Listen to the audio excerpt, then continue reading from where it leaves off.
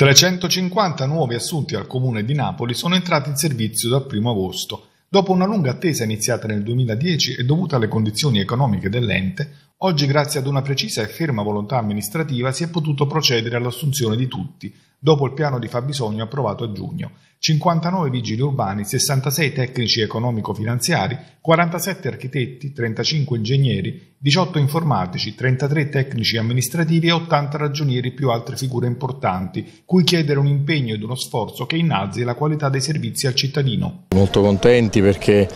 è uno sforzo amministrativo, istituzionale, finanziario, eh, anche come dire,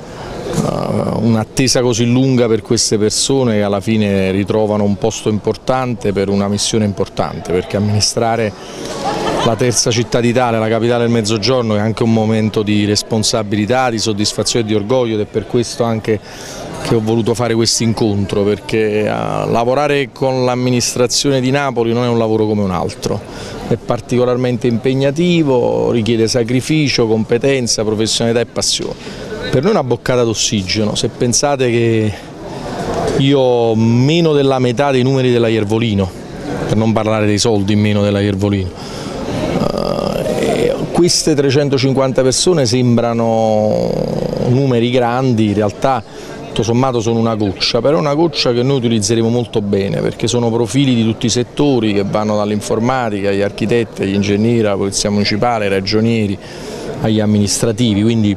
Credo che da settembre in particolare questa amministrazione complessivamente, comprese le municipalità che avevano un gran bisogno, sarà più forte e in grado di assicurare in maniera ancora più adeguata taluni servizi essenziali alla nostra cittadinanza.